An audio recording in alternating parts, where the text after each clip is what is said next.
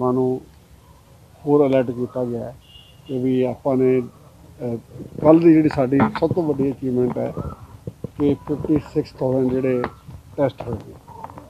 ਕਿਤੇ ਸਾਡੀ ਟੈਸਟ ਕਰਨ ਦੀ ਕਪੈਸਿਟੀ ਦੋ ਤੋਂ ਸੀ ਕੱਲ੍ਹ ਅਸੀਂ 56000 ਟੈਸਟ 56000 ਸਮਥਿੰਗ ਟੈਸਟ ਕੀਤੇ ਔਰ ਇਹਨੂੰ ਅਸੀਂ ਸੈਂਪਲਿੰਗ ਕੀਤੀ ਅਸੀਂ ਉਹਨੂੰ 60000 ਤੱਕ ਇਸ ਹਫ਼ਤੇ ਲੈ ਜਾਵਾਂਗੇ। ਔਰ ਦੂਜੀ ਗੱਲ, ਸਾਡਾ ਮੇਨ ਜਿਹੜਾ ਅੱਜ ਫੋਕਸ ਸੀਗਾ ਉਹ ਆਕਸੀਜਨ ਤੇ ਪਲੱਸ ਜਿਹੜੇ ਮੈਡੀਸਨ ਤੇ ਤੇ ਪਲੱਸ ਵੈਕਸੀਨ ਤੇ ਰਿਹਾ ਕਿ ਵੀ ਅਸੀਂ ਜਿਹੜੇ ਆਉਣ ਵਾਲੇ ਦਿਨਾਂ 'ਚ ਇਹਨਾਂ ਚੀਜ਼ਾਂ ਦਾ ਸਟੈਸ ਦੇਣਾ ਤਾਂ ਕਿ ਕਿਸੇ ਤਰ੍ਹਾਂ ਦੀ ਕਮੀ ਨਾ ਹੋਵੇ ਤੇ ਖਾਸ ਕਰਕੇ ਜਿਹੜੇ ਹਸਪੀਟਲ 'ਚ ਕੋਈ ਛੋਟੀ ਮੋਟੀ ਦਿੱਕਤ ਹੈਗੀ ਉਹ ਸਾਰੇ ਦੂਰ ਕਰ ਜਾਵੇ ਕੋਈ ਨਵੀਂ ਪਾਬੰਦੀ ਲਾਉਣ ਦਾ ਹੁਕਮ ਤਾਂ ਨਹੀਂ ਆਇਆ? ਨਹੀਂ ਕੋਈ ਨਵੀਂ ਪਾਬੰਦੀ ਕੁਛ ਨਹੀਂ ਸਾਰਾ ਕੁਝ ਐਜ ਪ੍ਰਤੀ ਚੱਲੂਗਾ।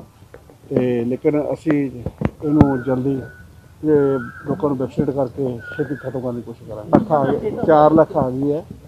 ਤੇ ਆਕਸੀਜਨ ਸਾਡੇ ਕੋਲੇ ਜਿਹੜੀ ਇਸ ਵੇਲੇ ਹੈਗੀ ਆ ਉਹ ਇਹ ਜਿੱਦਾਂ ਕੱਲ ਹਰਿਆਣੇ ਵਾਲਾ ਥੋੜਾ ਬਹੁਤਾ ਗੜਬੜੀ ਕਰਨ ਦੀ ਕੋਸ਼ਿਸ਼ ਕੀਤੀ ਸੀ, ਲੇਕਿਨ ਜੇ ਉਹ ਸਾਰਾ ਕੁਝ ਪਾਬੰਦੀ ਨਹੀਂ, ਜਦੋਂ ਸਾਡਾ ਆਲਮੋਸਟ ਸਮੂਥਲੀ ਚੱਲ ਰਿਹਾ ਸਾਰਾ। ਉਹਦੇ ਚ ਬਕਾਇਦਾ ਕਈ ਜਗ੍ਹਾ ਤੇ ਹੁੰਦਾ ਹੈ, ਲੇਕਿਨ ਸੈਂਟਰ ਗਵਰਨਮੈਂਟ ਨੇ ਵੀ ਪਲੱਸ ਸਾਡੇ ਸੀਐਮ ਸਾਹਿਬ ਨੇ ਬਹੁਤ ਇਸ ਗੱਲ ਨੂੰ ਸੀਰੀਅਸਲੀ ਲਿਆ।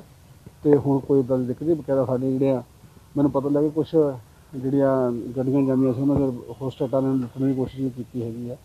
ਲੇਕਿਨ ਅਸੀਂ ਇਹਨਾਂ ਨੂੰ ਪੂਰੀ ਪ੍ਰੋਟੈਕਟ ਕਰਾਂਗੇ, ਬਕਾਇਦਾ ਹੋ ਸਕਦਾ ਨਾਲ ਸਾਨੂੰ ਜੇ ਫੋਰਸ ਵੀ ਦਾ ਫੋਰਸ ਭੇਜ ਕੇ ਵੀ ਅਸੀਂ ਆਪਣੀ ਸੇਫ ਆਕਸੀਜਨ ਲੈ ਕੇ